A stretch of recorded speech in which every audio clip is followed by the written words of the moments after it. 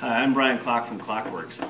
We're here today with a 2010 Harley Davidson that we've converted into a trike.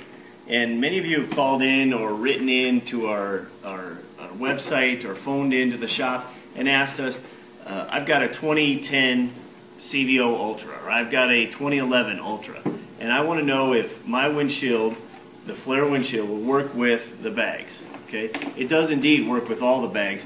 You'll notice right on the bottom here we have added an extra two inches so the bags work and also the factory GPS that comes on the CVO models works as well. We have some slides for that we'll include in this video. You'll see them just a little bit later. The idea behind the windshield is as the air comes across the top, comes in here, creates a swirling situation on any straight windshield. The flare now kicks it up so any air that does hit you is clean air. No windshield is going to make you the boy in the bubble, but it will give you clean air. You can see Vic's putting on the, uh, the new T-Bags three-bag pouch, and uh, that's been one of the more popular versions of this right now. And uh, you can see that sticks up just as high as the Harley one, and as it sits in there, you know, it's a good three inches above here, okay?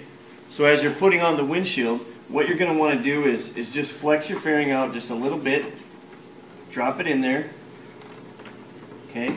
Line up the center hole, Put your screw in.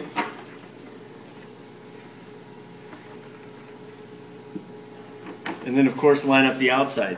And you can see that this contour here allows for that T-bag bag to fit down in there. Again, we get so many questions and many times a lot of people have seen our six and a half, which is perfect for the street glide guys, but maybe not always the right thing for the guy who has an ultra. And the idea is that when you get an, an ultra, your seat's going to sit up higher. You got a little more cushion underneath you. Maybe you need a little bit taller windshield. Stock windshield is 12 inches. Keep in mind that all of the flare windshields work at least two to three inches taller than they really are, just by the virtue of the shape and as the, and as the air comes across the hips here.